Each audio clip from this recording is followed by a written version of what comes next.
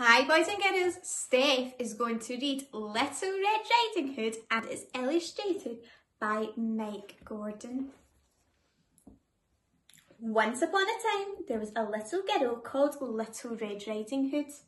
She always wore a bright red cloak with a bright red hood. I love my cloak.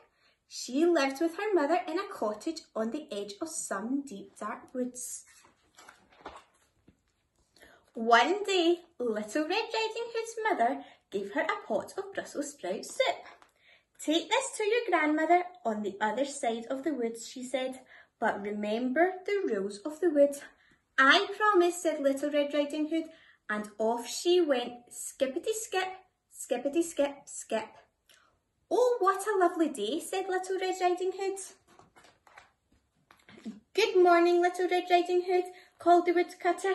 Good morning, woodcutter, called Little Red Riding Hood. Little Red Riding Hood walked deeper and deeper into the deep, dark woods. It grew darker and darker, so Little Red Riding Hood didn't see the wolf waiting for her on the path, and the wolf didn't see Little Red Riding Hood either. Little Red Riding Hood stumbled straight into the wolf. Oh, ah, oh, what are you doing in the middle of the path? asked Little Red Riding Hood. I nearly spilled my grandmother's Brussels sprout soup. Sprouts? Yuck. Wolves only eat juicy red meat. Little Red Riding Hood had forgotten the rule, don't talk to wolves. The wolf was just about to gobble Little Red Riding Hood when he had a brilliant idea.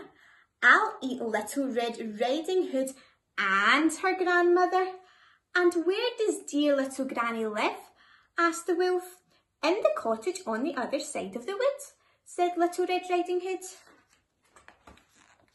The wolf raced to the cottage and knocked on the door. Tap, tap, tap. Come in, called grandmother. The wolf leapt into the room and gobbled up Little Red Riding Hood's grandmother in two seconds flat. Mmm, bony, but not too bad. Then he pulled on her cap, jumped into bed and waited for Little Red Riding Hood. Soon there was a knock at the door. Tap, tap, tap. Come in, snarled the wolf as softly as he could. Little Red Riding Hood looked at her grandmother, then looked again. Oh, Granny, what big ears you have, all the better to hear you with. Oh, Granny, what big eyes you have, all the better to see you with. Oh, Granny, what big teeth you have, all the better to eat you with. In one bound, the wolf was out of bed and gobbling up Little Red Riding Hood. Delicious, he said. Then he fell fast asleep. As he slept, he snored very loudly. What's going on? wondered the woodcutter. He's eaten that poor old woman, realised the woodcutter. He picked up some scissors. He snipped open the wolf's tummy. Snippety snip, snippety snip. Out popped the grandmother and little Red Riding Hood too. Quick as a flash, Little Red Riding Hood picked up some stones and piled them into the wolf's tummy. When the wolf woke up, he tried to sneak out the door. Rattle, rattle, rattle.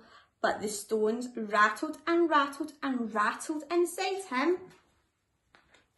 Now everyone can hear me coming. I'll never catch anyone, cried the wolf. Exactly, said the woodcutter.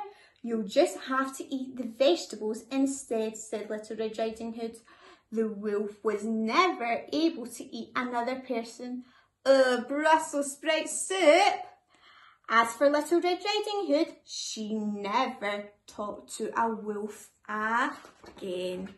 The end.